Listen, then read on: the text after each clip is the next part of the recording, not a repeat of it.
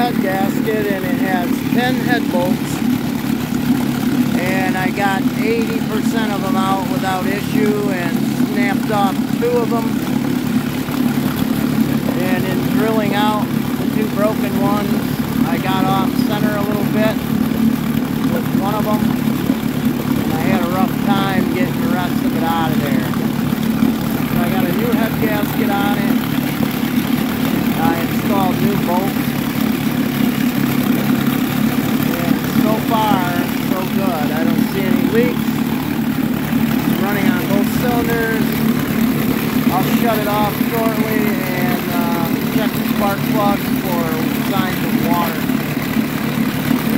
If no water, then she's ready. I'll just run it for a while and then retorque it.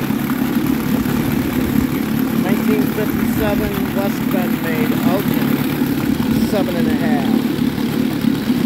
This is one of my favorite motors. Believe it or not.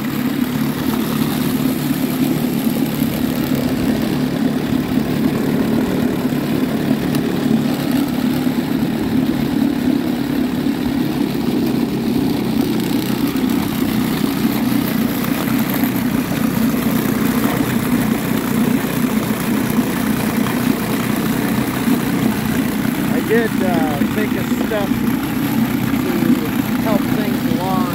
Uh, I used Permatex Aviation gasket sealer just as an extra precaution to try to help uh, salvage this whole thing and keep her on the water. I think if it was leaking inside, it would be uh, missing that's how I first realized I had a problem with the head gasket.